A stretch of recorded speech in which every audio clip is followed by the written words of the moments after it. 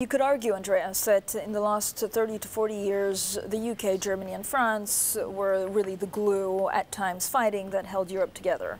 Germany is now in the throes of political crisis. We don't exactly know where the coalition is.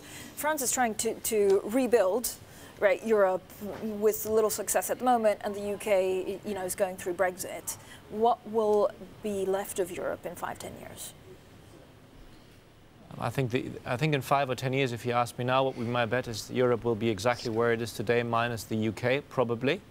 Um, I think Europe will not break apart, neither will the Eurozone. I think the political will is, is strong. I think it's interesting that the support for the Euro and the European Union in most European Union countries is at a multi-year high. It's, mm -hmm. it's, it's, very strong. I think the, the, uh, the, the, the restructuring of Spain, Portugal, Ireland, I should say, the successful restructuring post 2010, 11, 12 um, is, a, is a proof that the euro can work. I think yeah. a lot of people had said it can't work, you can't nominally um, deflate. Well, these countries have done it, and the debt to GDP ratios of these countries are, are well within, within, within touching distance of the Maastricht criteria. So mm. I think I, I don't detect an overwhelming sense of crisis in Europe, but there is a very significant need, and that's understood, to redefine what Europe means both on the global stage as well as for its citizens. Okay, uh, uh, we talk about NATO having the tools or not to, to, deal with what's coming next. Do central banks have the tools to deal with what's coming next? When you have President Trump saying actually he has no deadline for the China deal, it may come in, in 12 months from now, how do central banks react to that?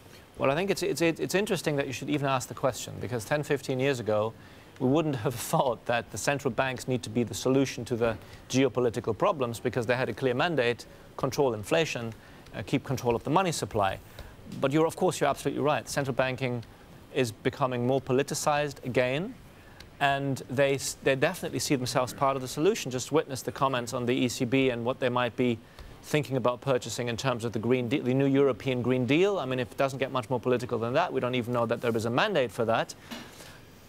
But, and this is, this is where it becomes different from the last five or 10 years, it is also clear that the central banks alone cannot do the necessary job. And I think this is where Christine Lagarde um, comes in. We talked about this previously on the show.